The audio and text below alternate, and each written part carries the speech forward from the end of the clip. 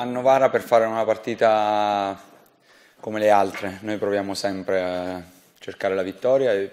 e proveremo anche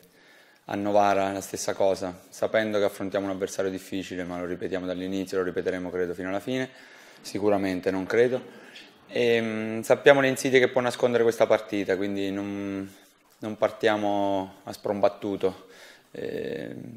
vogliamo affrontare una partita matura, eh, da squadra in grado di saperla fare, di saperla comandare quando è il momento di provarci e di saper soffrire quando ci sarà il momento di saper soffrire perché in ogni partita ci sono momenti positivi e momenti negativi. Dovremo essere bravi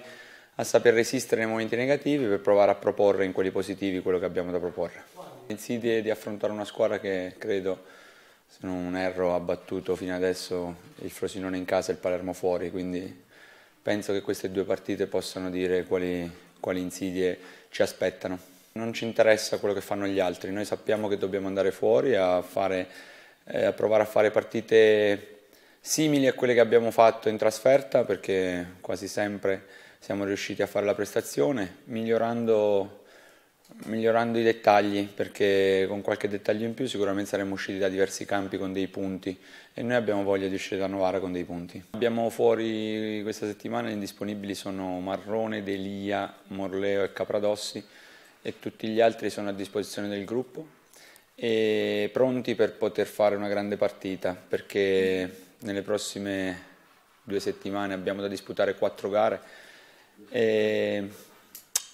ed è importante avere tutti a disposizione, tutti pronti per di volta in volta riuscire ad ottenere il massimo provando sicuramente a fare il massimo. Fuori casa qualcosina dobbiamo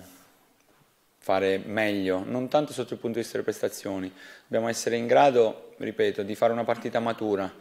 perché nei momenti in cui gli avversari alzano il ritmo e ci mettono pressione eh, raramente siamo in grado di, di venirne fuori subito, eh, spesso dobbiamo concedere tanto prima di riuscire a venire fuori. Questo è un grande margine che dobbiamo avere soprattutto fuori casa, dobbiamo essere in grado di saper soffrire quando c'è da soffrire, ma provare e continuare a fare quello che sappiamo fare immediatamente dopo. Le vittorie sicuramente aiutano a, a poter lavorare con un pizzico di serenità in più, ma non devono essere un tranello, perché la serenità non deve essere la tranquillità noi non dobbiamo avere la tranquillità di lavorare, dobbiamo avere la serenità di voler lavorare e metterci sempre quel pizzico di timore e rispetto nei confronti di chi affronteremo per poterlo affrontare con la massima concentrazione perché non possiamo permetterci di fare una partita come quella di Brescia ma dobbiamo avere voglia di rifare una partita tipo quella di Salerno migliorando quello che c'è da migliorare. Io non guardo la formazione prima per fare quella dopo, eh, penso a mettere in campo i giocatori che reputo migliori per quella gara e sapendo che eh, qualsiasi scelta faccio, ogni partita ne ho tanti a disposizione per poter cambiare la partita in corso. Appena detto ai ragazzi che è fondamentale chi inizia la gara, ma è determinante chi subentra per poterla incrementare nel ritmo e nella qualità del gioco, come è stato fatto nelle ultime gare. Avere a disposizione tanti giocatori bravi che si sentono partecipi eh, è l'obiettivo mio, perché deve essere un vantaggio, come ho ripetuto più di una volta, quello di avere dei giocatori in grado di poter fare bene la gara e di poterne avere diversi a disposizione, quindi noi abbiamo questa fortuna e dobbiamo continuare a far sì che sia una fortuna perché